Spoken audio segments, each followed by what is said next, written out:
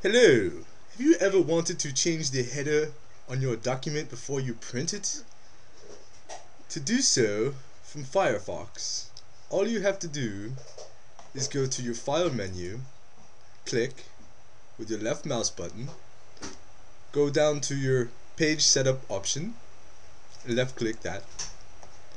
You'll be presented with a window with two tabs. One tab will say Margins and Header, Footer you can left click on that tab and in the lower part of that window you will see headers and footers and the following options with drop down menus so you can display what you would like to have in your title. You can choose blank to blank it out. You can choose URL, which is another fancy name for website address. You can do date and time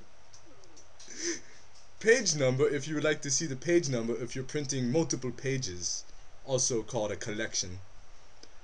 Um, and or you could do custom if you like custom. Custom's very fancy actually. That's what we do over here in England. We, we, we always choose custom because we are very custom type people.